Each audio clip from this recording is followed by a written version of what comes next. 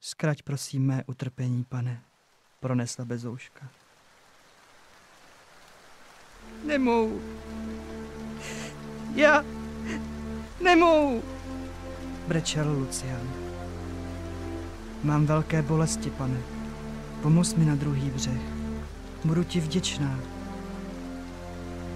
Jak to mám udělat bez ouško? Štkal Lucian. Pošeptej mi do ouška, mám tě rád. Tvůj čas však nadešel, pane.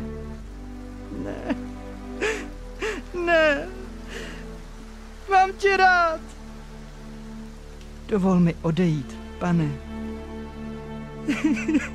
Tvůj čas nadešel.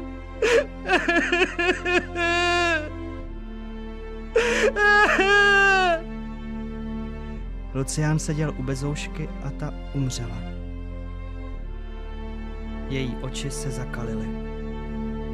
Z pootevřených úst ji vyšel dech, se kterým odešla i její duše.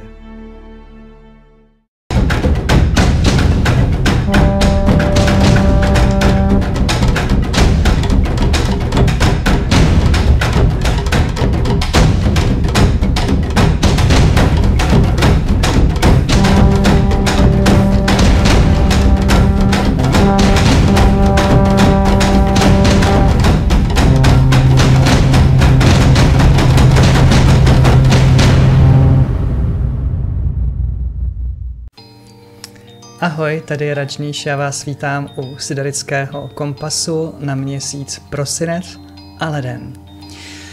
A musím říct, že tak, jak tvořím tenhle siderický kompas, tak si říkám, o můj bože, jak ten rok a, rychle a, utekl.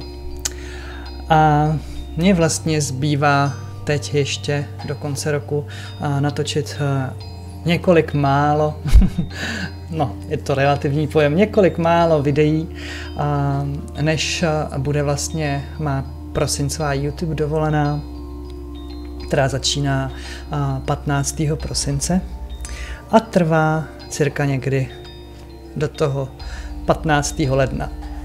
No, pro mě je to vždycky takové ohlédnutí zpátky, ten poslední uh, siderický kompas za tím uplynulým uh, rokem. No a když jsem šel točit tato uh, videa, která vlastně, na která se budete dívat, tak uh, mě překvapilo, že vlastně se nejčastěji opakoval konoziel. A konoziel uh, tady jde jako takový posvátný průvodce pro nás všechny, byť u jednotlivých výkladů jste se mohli setkat samozřejmě s jinými anděly hvězdného Avalonu. Mm. Řekněme, že Konoziel je spojený s měsícem duben podle andělského kalendáře. Pokud byste vstoupili třeba do mého online semináře Rok s anděli, tak eh, Konoziel je spojený s dubnem.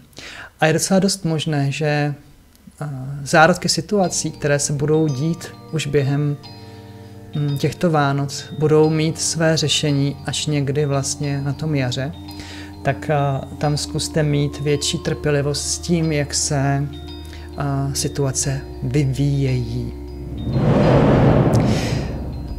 Než se pustíme do jednotlivých výkladů, tak mi dovolte sdělit jednu věc, která se týká tohoto YouTube kanálu. Pokud cítíte, že mm, vám tento YouTube kanál v průběhu roku nějakým způsobem pomohl, pomohl vám ve vašem uvědomění, pomohl vám udělat nějaké změny v životě. A pokud cítíte, že byste mm, chtěli poděkovat za toto uvědomění, prosím využijte mého programu Patron, jednorázová podpora, na který dostanete odkaz tady v popisku videa.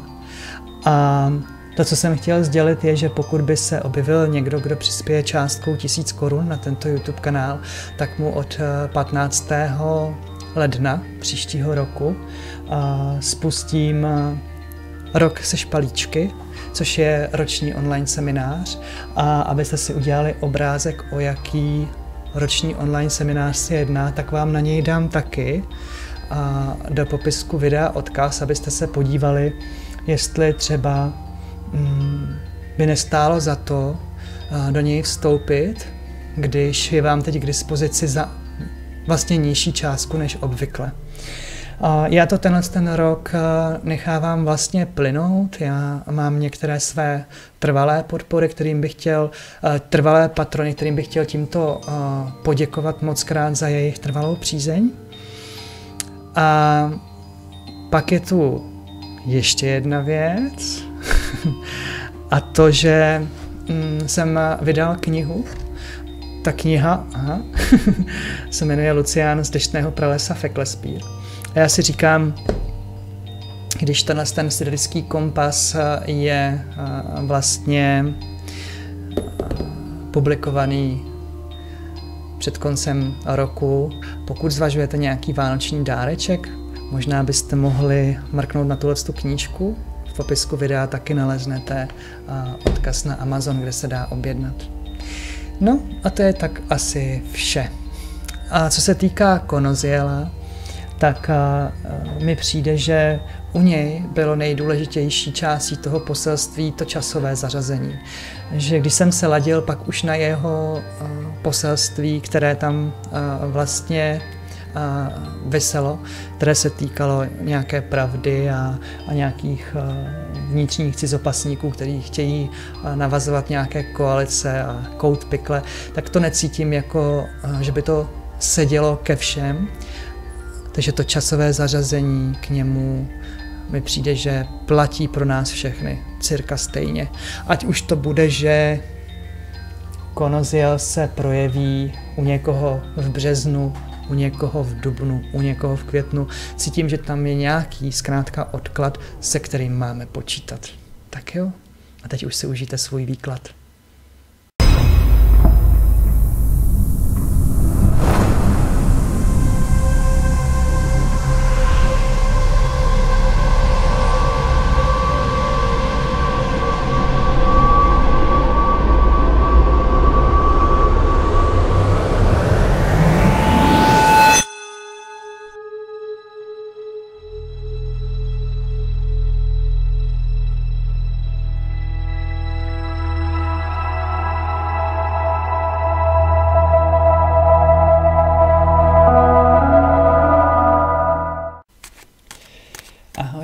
Srdečně zdravím vodnáři, tedy zrozenci od 13. února do 8. března a podle sidrického inekválního zvěrokruhu. A uvidíme, co vám kartičky budou chtít povědět k měsíci prosinci a lednu, co se tam u vás bude dít.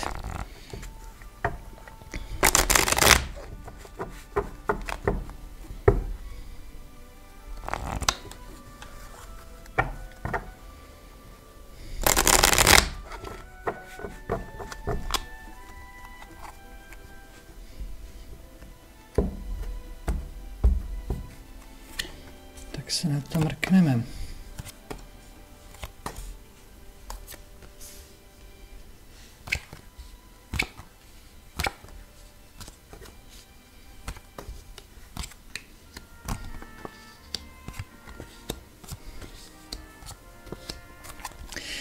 Takové téma, která nám tady vystupuje na oba ty měsíce, je pážem mečů. Pážem mečů mě říká, že pro někoho z vás tady bude hrát ústřední roli dítě. Dítě, které může být vzdorovité, dítě, které může nesplňovat vaše očekávání a můžete mít s ním dočasně nějaké starosti, potíže, nebo se to bude nějakým způsobem točit kolem něj. Pokud dítě nemáte, tak to bude vaše nějaká vzdorovitost, která bude určovat to, jak se věci budou vyvíjet. Je v tom taková řekněme, horoucí energie. Jo, že vlastně nehledě na to, jaké jsou společenské konvence, tak vy vlastně budete chtít nějakým způsobem narušovat, nějakým způsobem je prolamovat. Nebude vám uh, dělat dobře sedět v koutku a mlčet, když bude sedět něco, co se vám nelíbí, budete chtít říct, co si o tom myslíte, bez ohledu na to, jestli to je pravda nebo ne, bez ohledu na to, uh, jestli zraníte někoho nebo nezraníte uh, v té citové sféře. Takže mm, tam jako kdybyste byli trošičku kousaví, ironičtí a dal bych si pozor, aby se to neobrátilo jenom proti vám. Mm, tadyhle vidíme jako ústřední kartu takového šťastného partnerství anebo radostného životního období, takže nemusíme se tady bát toho, že byste měli vyloženě jako nějakou špatnou náladu. Vy jste tady už v takovém postavení, které je dominantní. Jednak, když se podíváte zpátky do minulosti, tak tam máte pocit, že jste si to jako kočírovali, řídili, že jste, mm, řekněme, stanovovali, jak určité věci budou. Druzí vás tak nějak intuitivně vyslyšeli a vlastně se i ty věci pohnuly, protože tam cítím, že i ten vesmír mm, vás nějakým způsobem vyslyšel. A já mluvím o minulosti, ale tohle to jako kdyby se vztahlo až právě někdy k těm dvěma následujícím měsícům. Jo, že mm, se nemusíte bát, že by vesmír nereagoval na vaše pocity, na vaše přání. A zároveň tam je vidět, že si strategicky plánujete tu budoucnost a hlavně tu vztahovou. Jo, vy mm, víte, že předpokladem je jako hodně takové úcty sama k sobě, že tam je hodně důležité mm, nesnižovat eh, laťku pro sebe, ať už eh, v té citové sféře, anebo i ve finanční. Jo, že vlastně potřebujete si udržet nějakým způsobem laťku, které mm, se budete držet i nadále a tak nějak si to tam plánujete. Trošičku je problém v tom, jakým způsobem vám osud zamotá cestu. Jednak tady je vidět, že pokud jste v nějakém řízení soudním ohledně vašeho bydlení, je docela dost možné, že se budete muset vystěhovat. Pokud řešíte nějaké exekuce, je možné, že exekutor přijde a budete muset velmi rychle vyklidit pole. To je to, co já tady vnímám ve spojitosti s tou laťkou, jo? že vy to tam stále chcete mít, ale vlastně vám ujíždí to dno. Mm, jinak se budou hodně věci točit kolem uh, domova nebo bydlení, budete řešit věci kolem nich. Um, Přijde mi, že tam jsou i nečekané věci, že tam, kde by to někdo nečekal, můžou vystat náhle uh, problémy. Může to být, že někdo z vaší rodiny se namočil do něčeho a vy součástí, nebo součástí toho řešení bude, že vy se rozhodnete mu nějakým způsobem pomoct. Jo, že mám dojem, že i kdybyste seděli doma mm, na bobku a žádné neplechy nedělali, tak někdo jiný kolem vás se může dostat do problémů, třeba z té rodiny, a může to ovlivnit uh, vaši situaci. Takže zejména tam, kde jsou uh, nevyjasněné věci majetkové, jo, tam, kde třeba má uživatelský právo nejenom jeden člověk, ale třeba i sourozenec, tak tam se může něco vyvrbit. Byť si myslím, že to dopadne dobře, jo? že tam vlastně mm, bude s tím jakoby spokojenost, jo? tak jak se to jako vyřešilo. Pak eh, je tady vlastně informace pro ty eh, vodnáře, kteří prodávají nemovitost, ať už z jakéhokoliv důvodu, tak je tady eh, vidět, že se dům prodá, nebo by se prodá. Jo, je tam ten proces velmi rychlý, jako rychle tam opouštíte to bydlení, ale je to v radosti. Jo. A chodíme, že tam je už i řešení, jo, to, kam se stěhujete, mm, že to jde jako v ruku v ruce. To, co mě tady mm, jako drží mm, pozorností, jsou také ty karty té minulosti. Jako kdyby u vás hodně záleželo na tom ještě se podívat zpátky. Mm, chodíme, že si máte vzpomenout na nějakou dovolenou, na které jste byli, protože tam se na ní pro vás něco zásadního změnilo. Ve smyslu, že jste se tam něčemu vnitřně naučili. Já nemyslím, že by to přišlo z vnějšku. Pak pro určité lidi tady je poselství ano, může se vám ozvat někdo, do koho jste se tam zakoukali. Já neříkám zamilovali, ale v někom jste něco vyvolali, nějaký pocit vášně, silné lásky, něco, co toho druhého člověka to nepustilo a mm, mě tady chodí ne, že setkání, ale že ten člověk se ozve, že vám napíše, že, že se s vámi nějakým způsobem uh, spojí. A je to spojeno s nějakou delší cestou. Jo? Je tady také vidět, že vodnáři budou v prosinci i v lednu hodně cestovat. Hodně tu je dovolených v zahraničí, takže pravděpodobně možná i plánujete mm, na svátky být mm, mimo tu českou zimu někde v teple zřejmě je tam informace, že vlastně nejdete, že to není nová zkušenost, že vlastně něco opakujete, že to, nebo zakládáte vlastně na nějakou tradici, jako mm, každý Vánoce já jedu někam, nebo po, kaž, mm, po novém roce vždycky já jedu na nějakou dovolenou. A je tam s tím jako obrovská spokojenost, a zároveň mi chodí, že tam je taková jako vaše prozřetelnost, že to není, že byste si jako utrhli ze řetězu, že to je vlastně promyšlený, jo. jsou tam cítit nějaké tradice. Proto zahraničí, tady máte tři karty, jo, takže je to dost silný. A chodí mi říct, že tam může být i výhra, jo, že někdo vyhraje dovolenou, a, ale to je opravdu jako malé procento z vás. Mm, kdo ví, třeba jenom jeden, jo, ale je tady ta výhra jako silně cítit, že vám něco spadne v uvozovkách do klína. Jo. A je tam pocit takového vítězství. Juhu, jakože tak jsem vyhrál, tak konečně jsem si koupil los a vyhrál jsem dovolenou někde. Jo, že mm, mi chodí, že to není ten typ výhry, kdy s tím jsou skryté nějaké poplatky nebo něco, že to je jako komplex takový prác, jakože uh, s tím nebudete mít nějaké další jako výdaje.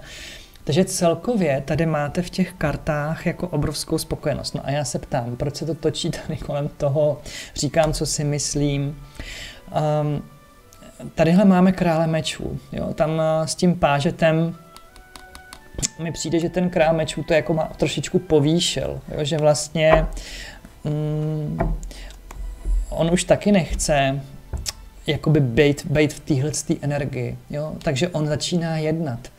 Mm, takže tam, kde vy budete cítit rozmrzelost, tak velmi rychle nastolíte rovnováhu tím, že uvedete věci do pořádku. Jo.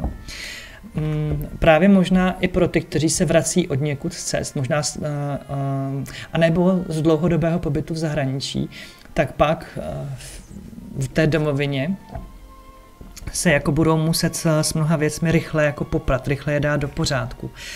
Uh, nevím, proč chodí mi, že to je i vice versa, jakože dlouho jste pobývali tady v Čechách, jedete do zahraničí a tam se budete muset rychle poprat se svojí situací, s bydlením a tak.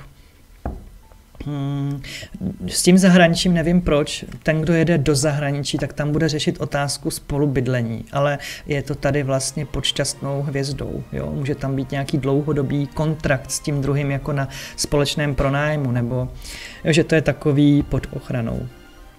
Hmm. Tak jo, vytáhneme vám ještě kartu, která nám to schrne.